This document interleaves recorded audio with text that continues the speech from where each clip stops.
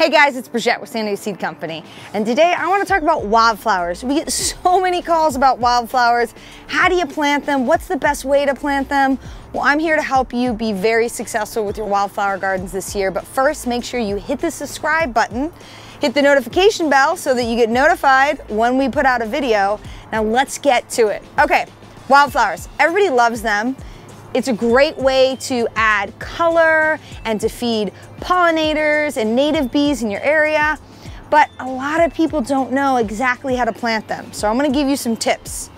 Here in zones nine and 10, in the cool season or our winter, um, sometimes we get rain and it's a really good time to plant your, your wildflowers before the cool season when we get moisture. Now this particular year, we haven't gotten much rain at all. And so if you were to just take your seeds and toss them into the garden, you wouldn't be very successful.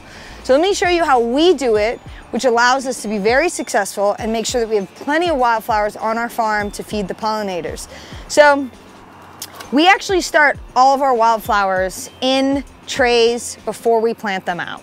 I know it's a little more time consuming than just tossing the seeds out, but our success rate is so much better than broadcasting. And that's because we haven't gotten much rain this year. If we were to just toss the seeds out, they won't grow very well. So we start them all in either trays like this, which I really like because we can just take these trays, we can break up all the different varieties and, and, and plant them out. You can see in here, this is actually our Southwest mix. We've got different types of yarrow, there's different poppies in here, all kinds of flowers that do really well for the American Southwest in this mix. We also do them in trays like this. So this is our California Bluebell. Beautiful flower. Cobalt blue blooms on this gorgeous, very easy grow um, wildflower. And by starting them in these trays, I can plant them out into the garden when they're big enough to be successful.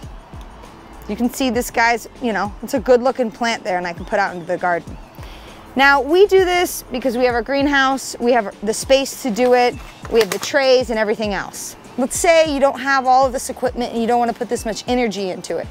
If you were to plant your seeds directly into the garden, you have to make sure you prep the area first, which means you need to rake up any debris, clear out any weeds, water before, plant your seeds, water after, and then you have to monitor the area for the whole time that those seeds are germinating to pull out any invasive weeds. We've got a lot here in California and to make sure that they're moist the whole time so that they can grow really successfully. Some years are easier than others. When we get lots of rain here in Southern California, you can toss seeds out and they'll almost surely germinate. This year, not the case. So remember, if you're gonna start wildflowers, we recommend that you start them in trays, get them to a nice healthy size and then plant them out. But if you're gonna toss them directly into the garden, you need to take care of them like you would any other plant until they get big enough that they can take care of themselves. So that's a little bit about wildflowers and how you plant them in the garden. Remember, hit the subscribe button, hit the notification button so that you can be notified anytime we put out a video that's gonna help you grow.